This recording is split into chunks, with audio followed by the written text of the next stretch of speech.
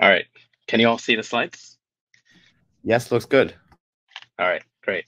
So uh, thank you for the introduction once again, and thank you all for joining me on this talk, despite this wordy mouthful of a title, which I realized in hindsight. So with that said, I would like to transition to this slide, which is a much simpler, simpler title, which is Simplifying Complex Next Generation Sequencing, or NGS, Analysis. And for the for the remainder of the of the talk, I just like you to keep this in mind: how we can create simple, easy to use tools. So, uh, with that said, I'd just like to go over what a typical NGS workflow looks like. So, let's say that you want to analyze one one particular sample uh, to see the gene expression in in. Let me just make sure I can get my pointer here. Okay, so let's say you want to look at a particular sample, let's say a tumor sample, and you want to see what genes are being expressed. So you'd isolate that tumor, you'd extract the, the, the RNA, and then you'd fragment that and process it by adding different adapters, and then you'd sequence it, typically on an Illumina sequencing platform. And what that leaves you with is some raw read files, which are called FASTQ files. And these are essentially specialized text files, which contains information about what transcripts or which genes were identified in your sample. And then using these read files, you have to align it or map it to a reference genome. So if we're looking at a human sample, we would align it to the human genome, obviously. And then this would give us a table of read counts. And this is basically a uh, a table with genes along along in the rows, and then each of your samples would be in columns, and there would be uh, numbers which identify how many times that transcript was identified or uh, detected in that particular sample. And then after that, you do some differential or DE analysis or uh, some type of abundance analysis to, uh, especially if you're comparing across multiple samples, to see how those read counts change from one sample to the next. And then this will give you the uh, differential gene expression or DGE or some type of other features of interest which will inform you on what to do next, such as what other genes or pathways to investigate, which genes or pathways to target with particular drugs. So this entire process can be very complex. Of course, here it seems simple for you know, the one I'm depicting one sample, but this can be quite complex. Real world experiments are not as typically not as simple as this, especially when you're trying to find something groundbreaking and exciting, right? And each of these steps here can be pretty time consuming too. So let's consider one of these real world situations. So let's say you have three cancer patients and let's say you want to see how a particular tumor, it doesn't really matter what type of tumor, what type of cancer, but let's say you want to see how these particular tumors in these patients respond to a particular drug. So say through biopsies, these tumors were obtained. And then let's consider this first one over here. So we take that and we graft it into two groups, uh, two cohorts of mice. Uh, there's a control group which receives saline, and then there's a drug treated group which receives your drug of interest. And these are, by the way, these are immunocompromised mice that can take up a, accept a, a human tumor graft or human cell graft. So in each of these cohorts, there are triplicates or three mice. So we graft uh, pieces of that tumor into these mice, and then we treat this, uh, each group for six weeks. And at the end of that six weeks, we excise the tumors and we prepare them for um, for sequencing. And in this particular case, we're doing single cell RNA sequencing. So we also add some synthetic uh, nucleotides to keep track of which sample and which replicate and which which treatment group that each of these excised tumors come from. So we add those and we we prepare it and we process it, and we uh, uh, uh get it ready basically for sequencing. And so this is what we do for one tumor. And then for this other tumor, we do the same thing. And then also for this one here, which is grayed out just to make this figure um, easy, easy to read. So here's a full look at that uh, of, of, the, uh, of, the, of the protocol. So once you process everything for sequencing and you do the actual sequencing, you know, you do some analysis magic and you end up with these really cool uh, looking figures that we typically get for single cell sequencing uh, projects, which are these uh, uh cluster plots showing how different cells or different samples cluster in, in t-SNE or UMAP plots. But before, before we get there, consider how much data that's actually here. So we have three patients. From each patient, we have two treatment groups. From each treatment group, there are three replicates, which contain some uh, synthetic or, or um, artificial nucleotide barcodes, which, which are also sequenced. And then from each tumor, so from each of these tumors here, uh, the, uh, the, the, the, leftover tumors that we're going to uh, sequence after the drug treatment, we're going to roughly detect 5 million cells per replicate. And then because it's a single cell RNA sequencing, from each of those 5 million cells, we're going to detect roughly 20,000 protein coding genes, which is roughly the number of protein coding genes that are present in the human genome. So that, that's a ton of data.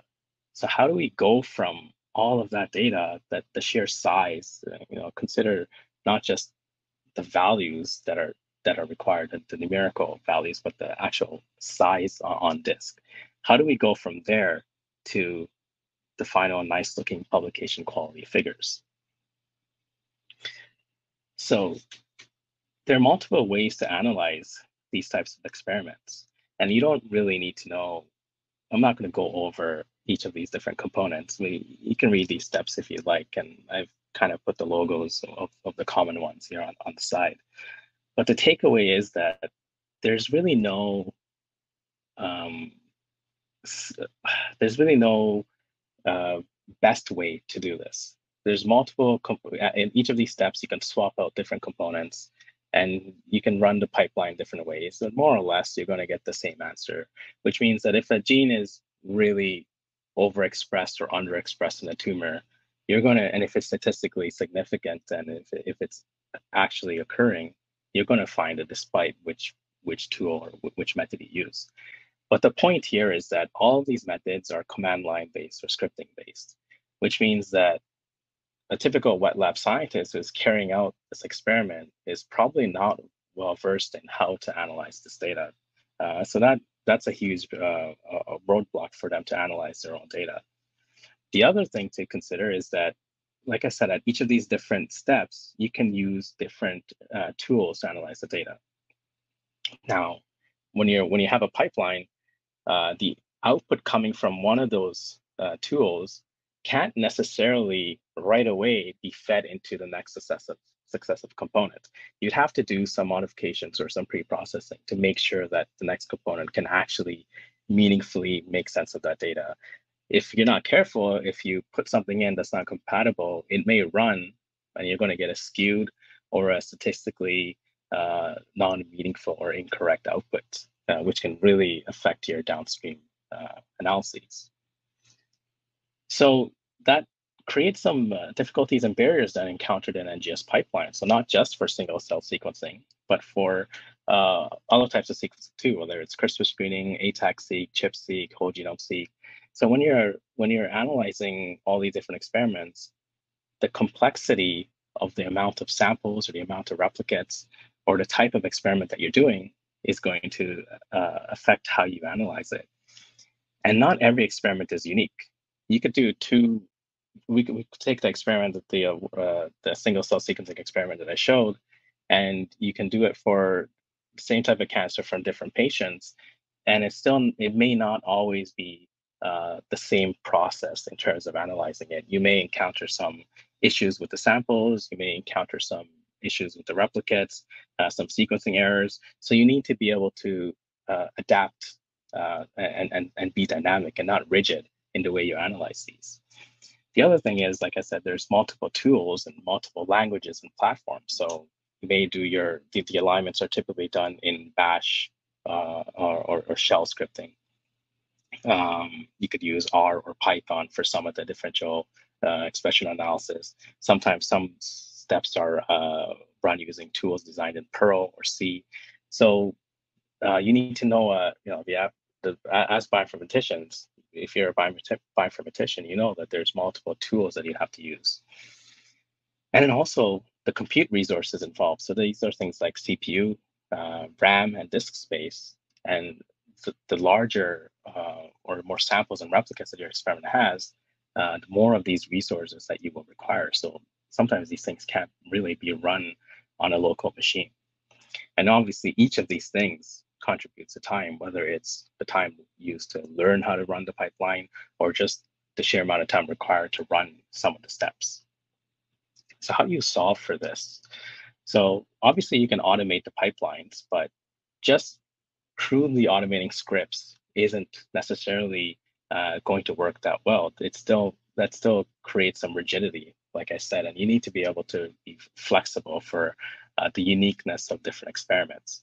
So you can provide a modular framework then. So this modular framework basically means that different modules can be shuffled in and out depending on the experiment, depending depending on the uh, issues encountered during the analysis. And then you can abstract away the languages and tools from the user.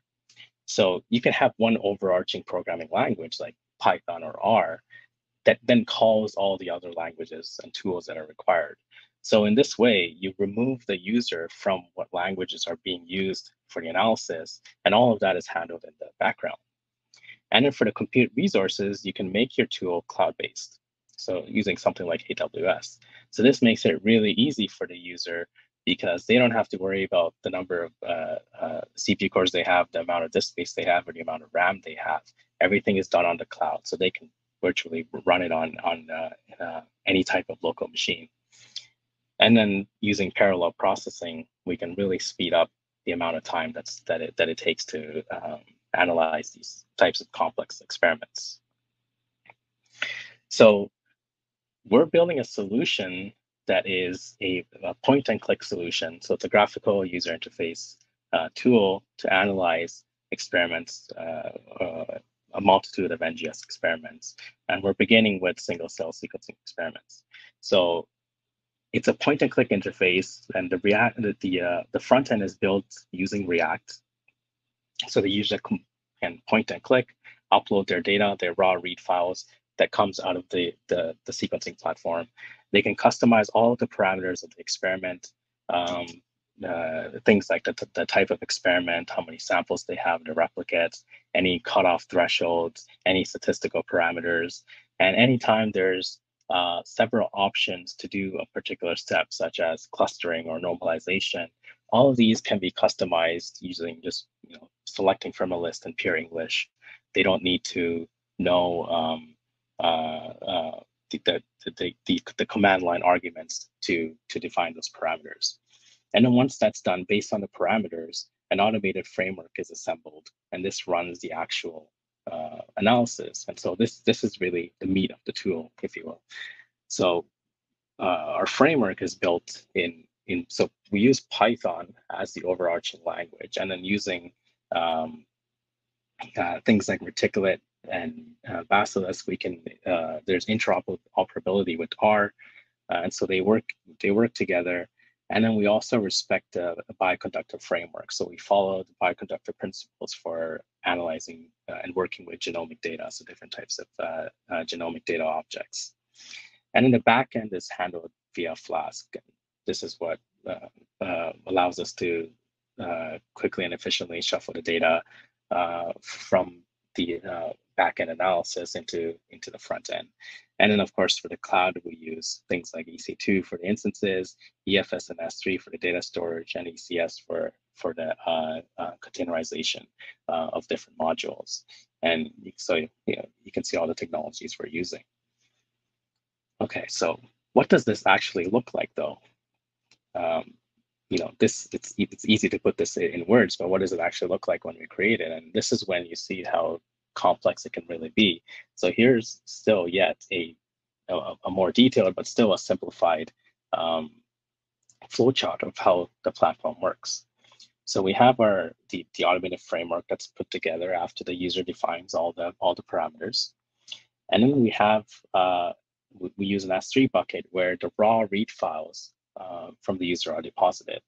And the EC2 instance is spun up depending on uh, the size and parameters that the user defines. And then this in parallel does the read alignments. So for a single cell sequencing experiment, this is looking at the unique molecular identifiers from each sample and uh, replicates and looking at the read counts per gene uh, at, at each individual cell level. And at the same time, there's some demultiplexing happening to uh, identify uh, which uh, replicates and control groups each of those cells belong to. So for example, the saline group or the drug treated group, group and is it from which mouse is it from mouse one, two, three, and also which patient is it from patient one, two, three. So all of that data is obtained and then some quality control is performed automatically and that's saved in the intermediate um, uh, data storage bucket. And then with all these read counts, these are integrated and unified into a Seurat object in R. And this prepares it for uh, single cell sequencing analysis. And then here, in a modular approach, normalization is performed, some type of filtering is performed, variable features are identified, and different types of clustering can be done. And this is also done on an EC2 interface. Uh, and then the results are then uh, uh, stored in, a, in, a, in an R uh, object and then saved into a final results data in S3. And then there's an interactive visualization component, which is also uh, run via e, uh, EC2 automatically. And here the user can explore the data in real time and customize their outputs uh, and generate uh, high quality publication ready figures. So to give you an idea of the different technologies being used, here is just uh, the uh, um, logos of each technology. So as I said, the um, um, overarching tool is built using uh, Python, a Python backend. Uh, and then that Python uh, code calls different modules, which itself can be Python or R. And uh, in some cases, like here for normal, normalizing, filtering, and clustering, we can use either R or Python. So it depends on uh, which is more uh, performant for the type of data and also which which uh, types of methods or statistical methods the user wants to run. Um, and then also um, the, the final interactive platform is a mix of Python, R, Python, React, and Flask. So this is a it's a it's a work in progress. This uh, this solution. Our goal is to create uh, uh, follow this this framework for this point and click analysis tool for a multitude of uh, NGS uh, experiments. So we're starting with single cell sequencing, but this is something that can be expanded to other things like ATAC-seq, ChIP-seq, whole genome-seq, and CRISPR screening, and also integrating different modalities together. So the, modular framework allows the integration of these different things, such as single cell sequencing and CRISPR screening, for example. Um, so in the interest of time here, I'm just going to summarize. Um, so uh, in summary, so I, showed you just a, a, a, very high level look at a point and click analysis solution that we're building, which leverages different uh, uh, web-based technologies uh, to make it really abstract the user away from all the uh, complexities of analyzing it, of analyzing the data.